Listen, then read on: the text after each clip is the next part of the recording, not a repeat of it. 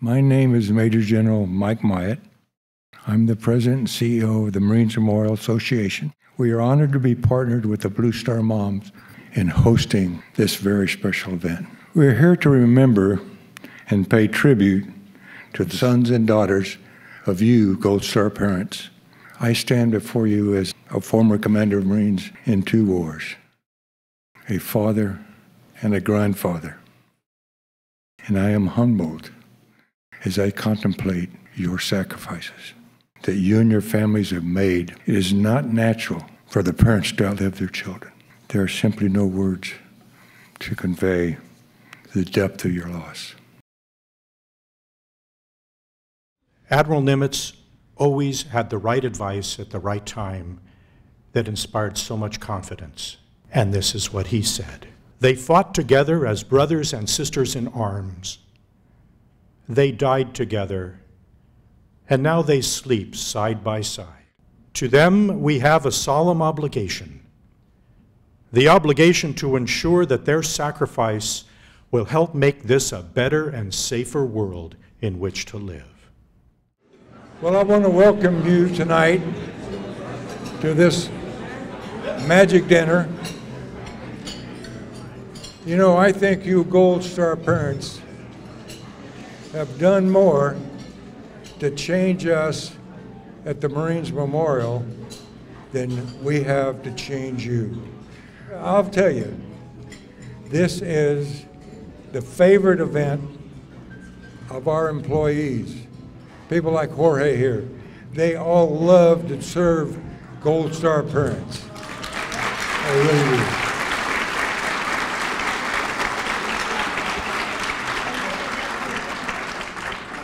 We're going to have a good time tonight. We're going to have a good time. I'll tell you, I, I just look at difference in my view of Gold Star parents when we started this 11 years ago or 12 years ago to today.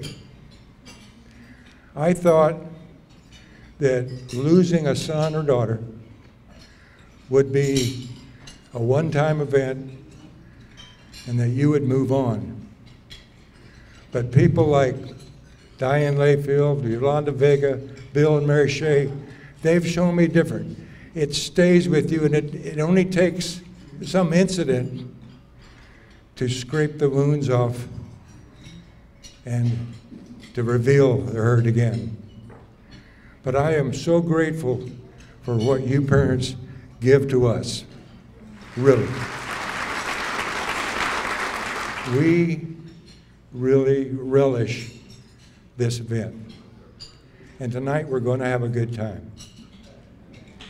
You know, getting to know Bill and Mary Shea like I have has really been an experience because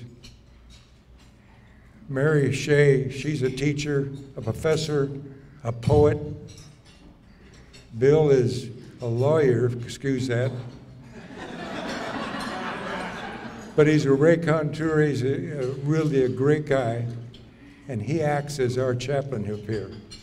Tonight, we have been summoned to a celebration of those who also answered a summons a summons to serve, a summons to sacrifice, a summons to protect those that they love.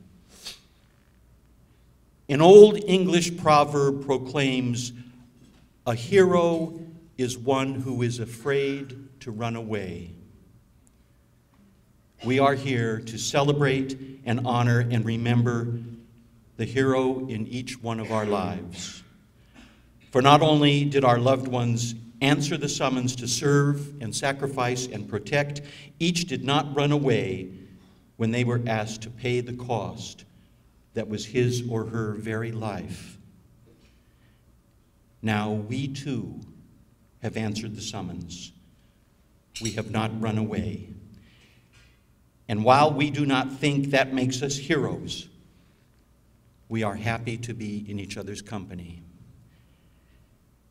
And from this, we can realize we have been blessed. We have been blessed and touched by the kindness and compassion and community of the Blue Star Moms. We have been blessed and touched by the assistance and generosity and hospitality of General Myatt and the whole of the incredible Marines Memorial staff, its board of directors, and its members. So we've actually been summoned to a blessing.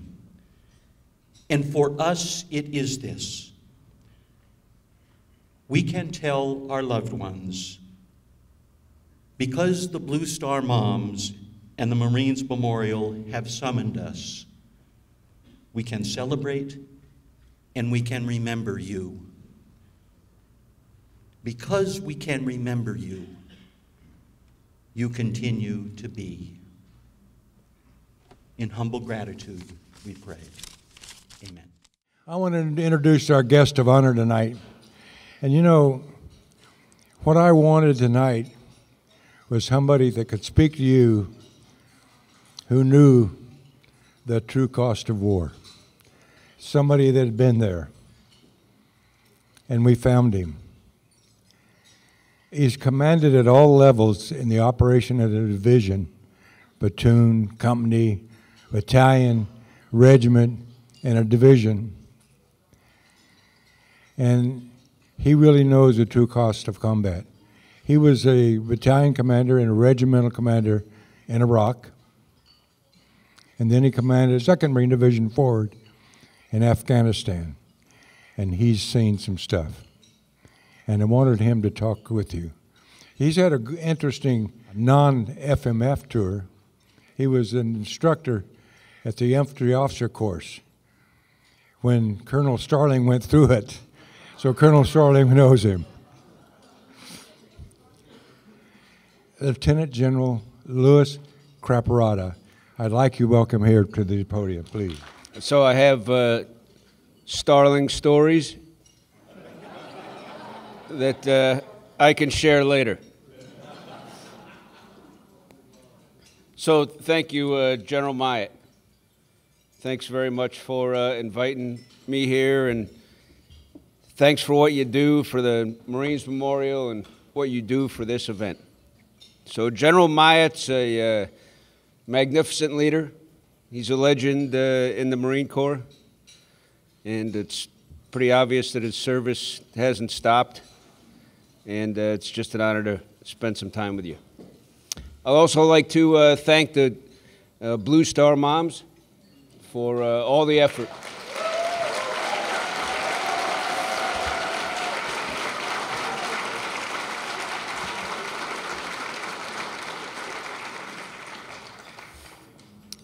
So I think uh, General Myatt asked me to come here maybe like the two days after I took command at uh, at one MEF, and I, I couldn't uh, didn't commit. I don't think right away, and then and then I did, and then you know I've seen the 60 Minutes video. I told him I had dinner with uh, General and Mrs. Kelly in uh, early January before he was confirmed as Secretary Kelly. I watched all the speeches, you know, and I have people. So I have people that help me. And, uh, you know, you, you, think, you think you're prepared to come up here. And then you come up here. And uh, you see, last night, you go to the memorial. And then, uh, frankly, you're not sure. So I have some uh, notes and I have some thoughts, and I'm going to go through those. And I'll see how it comes out, but I will tell you one thing it comes from the heart. So, first, I want to say how grateful I am to uh, have been invited here because, uh, frankly, it's truly an honor for my wife and I to be here, humbled uh, to be in the presence of moms and dads and siblings I will tell you the last uh, 24 hours, if it's been uh, up and down, it's, it's been what? Describe it in one word, uh, it's been uplifting. And uh, I thank you for your strength and, frankly, for your faith. And nobody understands the burden that uh, you carry, the weight uh, of having lost someone in service. But I think we all, every person in this country, should be grateful and understand that we remain free today because we have sons and daughters who are willing to commit to something bigger than themselves and do their duty to the end. So thank you. Thank you for raising those young men and women. Those brave enough to uh, raise their right hand, dedicate themselves to the service of our great nation during a time, as we all know, of inevitable conflict. And thanks uh, for the strength to be here carrying on the legacy of those that you love and further forging their spirit into the minds and the hearts of the many. So, being here, frankly, over the past uh, two days, uh, serves as a reminder to me of the uh, heroes that I've been blessed uh, to serve with. And I don't, uh, I don't even think I could ever understand the grief of having lost someone in service. But I hope, I hope that your feelings are buttressed by great, great, unrelenting pride and that somehow you can find comfort knowing that your loved one would not have wanted it any other way. They wouldn't have wished it was someone else. They were proudly and fiercely committed to selfless service that our nation frankly requires. So, my service in the uh, Marine Corps is guided by Marine Corps core values honor, courage, and commitment. And every institution, every service has similar core values. They bond us uh, together, they tie us together as a service, they forge a connection between us and the other services and those that have gone before us. And those that have gone before us and those that we've lost in service have laid a foundation. And if we wear a uniform today, we now have a responsibility to live up to their standard and to fulfill their expectations. And we strive to do that every day. And when someone like me thinks about those we lost in service, we think about not just keeping their memory alive, but ensuring that we live up to their expectations. And that as they watch over us today, that they can do so proudly. So, this past weekend, I had the uh, opportunity to spend some time with some uh, veterans from Iwo Jima. Last Sunday, the 72nd uh, anniversary of the landing on uh, Iwo, significant battle in Marine Corps history, significant battle in the history of our nation. And when the famous photo of the flag raising on Mount Suribachi was published in our newspapers, 25 February 1945, that photo became a potent symbol of victory and hope for a country that had been at war at that point for nearly four years. That battle came at a cost 5,931 Marines killed, more than 17,000 wounded. So I spent some time with 24 or 25 of these uh, veterans who had participated uh, in this battle. And they did something that's very common amongst veterans. They spoke of the, the buddies that they had lost. And they spoke about the commitment to those that they lost and the fact that they wanted to ensure that they lived up to the expectations and they lived their lives in a fashion that was worthy of those that were lost. Now, there aren't many of these uh, veterans left. One of them is an example, a Navy, uh, Navy veteran, and he had never been to the, to, to the day to join, join the veterans for the uh, lunch, and they had a symposium uh, that day, and he stood up and he said, I was on, I think he said the Ticonderoga, but my ship transported Marines and landed Marines on Iwo Jima. Two of those Marines participated in the flag raising. And I'm just here today because I want to know if anybody else was on my ship. Most of these men didn't know each other. They shared the experience of service. Most of the people in this room didn't know each other. But now you have a shared experience, a tragedy of having lost someone in service. But by coming together, like those Iwo Jima veterans did, you too are forging new bonds of remembrance and dedication to those that you've lost. And those that you've lost, every one of them has left behind a legacy.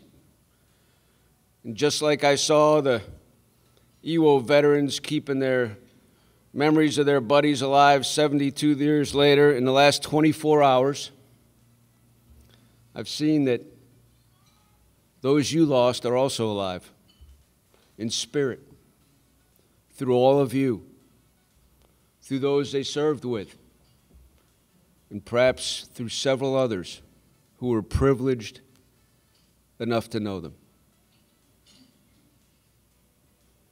So 45 million have served in uniform. Over a million have died in defense of this country, and your loved one represents 1% of Americans. And unfortunately, a large percentage will never understand their commitment, nor will they seek the responsibility of protecting this nation. And while we can never repay the debt that we owe to you, or the debt that we owe to them, we are obligated not to forget their duty. So, watching you all here yesterday and today, drawing strength uh, from one another, uh, as an active duty uh, service member, I'll tell you, my, my responsibility is to keep their memory alive and to serve as your sons and daughters would have demanded.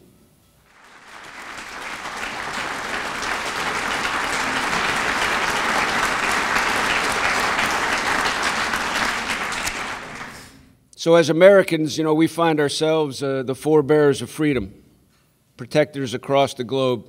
Not a new mission. Face an uncertain uh, landscape, ever evolving enemy, an enemy actually who hates our freedom and our very way of life. And now, more than ever, we need to stand strong. This is not a time to be quiet. And your loved ones understood that. What is sometimes forgotten as people in our country go about their daily business is the fact that we were attacked and the enemy has not been defeated. What is sometimes forgotten is the price being paid to remain the land of the free and the home of the brave. Your loved ones understood that their country was founded by sturdy citizens who willingly committed to freedom, to liberty, and to justice for all. So, one of the most celebrated uh, traditions in the Marine Corps is the Marine Corps birthday 10 November 1775. We celebrate our 241st this past uh, November. The, the birthday ball for us is, you know, it's a celebration to uh, share the bonds, being Marines, and to celebrate uh, those who have gone before us. It's an opportunity to reflect on the history of our Corps. We go through this elaborate uh, cake cutting. Some would call it uh, perhaps a ritual. And during that ceremony, as part of that ceremony, the oldest Marine gets a piece of cake, the oldest Marine in the room. And he passes that cake to the youngest Marine, signifying the passing of experience and knowledge from one generation to another. And though uh, ceremonial, that act is a uh, reminder of how the old are connected to the new, the common framework, the past and the present come together. The birthday ball is also a time where we remember those we served with and we recommit to living up to the legacy and the expectations of those we've lost. So tonight,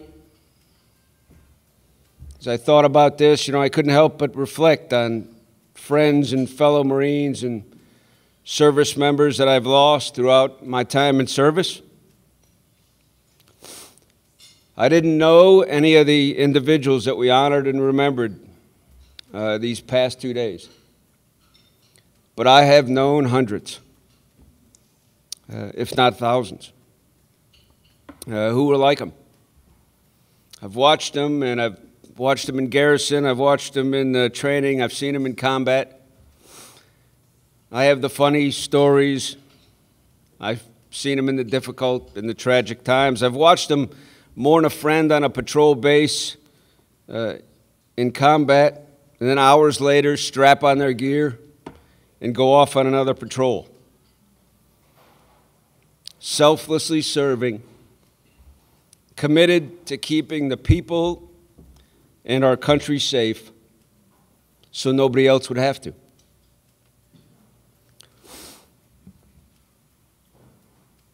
These are the very foundation that our nation was built on citizen soldiers. Those that understood that our way of life is worth fighting for Every member in the military went beyond realizing that our way of life was worth fighting for. They acted on that understanding. They all volunteered. They all stepped up. And some of them, I'm sure, surprised you. Others, perhaps, always destined to wear the uniform of a soldier sailor, airman, marine, coast guardsman. Perhaps in their mind thinking, if not me, then who? So, how grateful should we be? How proud you must be. How honorable is it to make that commitment How selfless an act. So, we in this room, we should swell with pride. We should beam uh, with joy. We should all feel blessed that we knew them and we love them.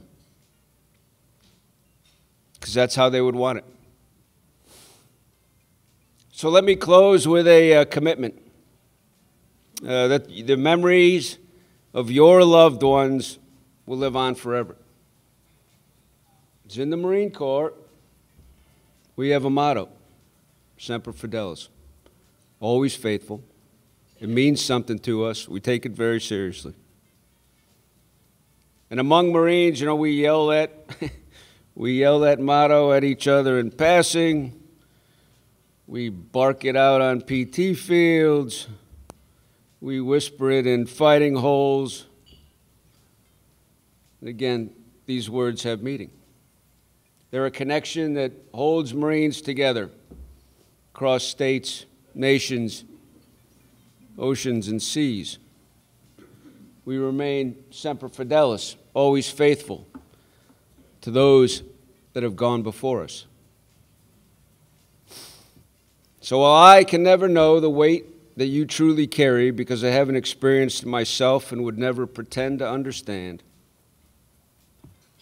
I can commit to being always faithful to the memories of your loved ones and the extended family that you all have created here. And again, I hope you swell with great pride knowing that you raised, loved, and nurtured an individual who willingly committed to something much bigger than him or herself. They selflessly put their country first. They stepped forward. And although we can never repay them, we will and we must always remember them. It's been my honor to be here. God bless all of you and Semper Fidelis.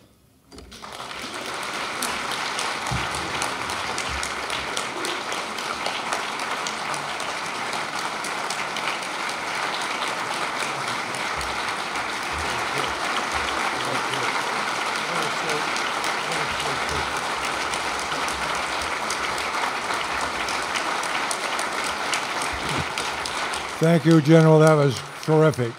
I'm uh, Major Scott Huesing. I'm retired after 24 years. And to be invited to come here amongst you today and throughout, throughout the week has really made me realize that you are what builds us back up. I got connected to the Landaker family, and she shared her story with me about the fact that Jared and his flight of seven in, on February 7, 2007, his plane was lost. As I talked to Lori and she told me her story, and we've gotten to know each other over the course of the last couple days, um, she'd also mentioned to me that Jared was actually leaving Iraq early to attend the Weapons and Tactics Instructor course at MAWTS 1.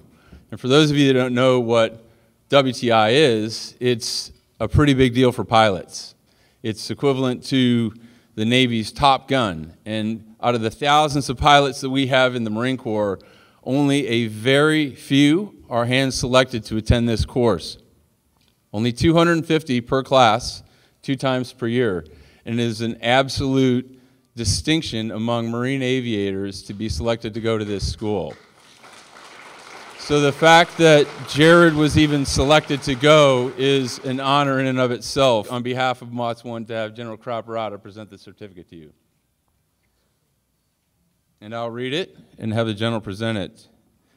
This is to certify that First Lieutenant Landaker J is an honorary graduate of the Weapons and Tactics Instructor course given by Marine Aviation Weapons and Tactics Squadron 1 this 7th day of February 2017, signed J.B. Wellens, Colonel, U.S. Marine Corps, commanding.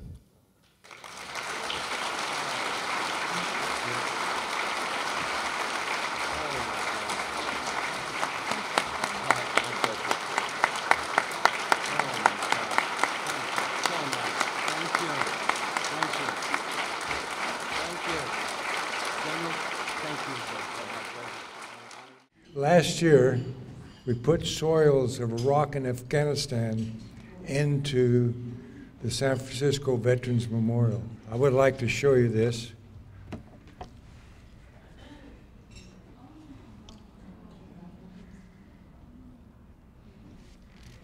And it's presented to Miss Abdullah Munkada by the Marines Memorial Association in San Francisco.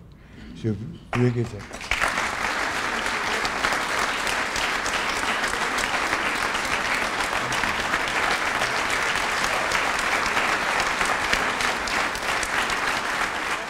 I commanded the 1st Marine Division, and this is what I love the 1st Marine Division Party Band.